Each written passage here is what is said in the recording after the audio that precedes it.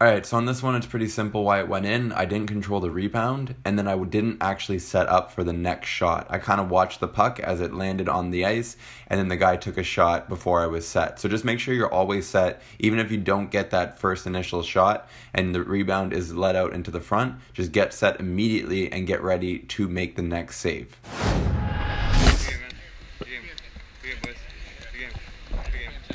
All right, so we lost an overtime, bad rebound. You guys couldn't see, the other camera died, I guess, before the game started.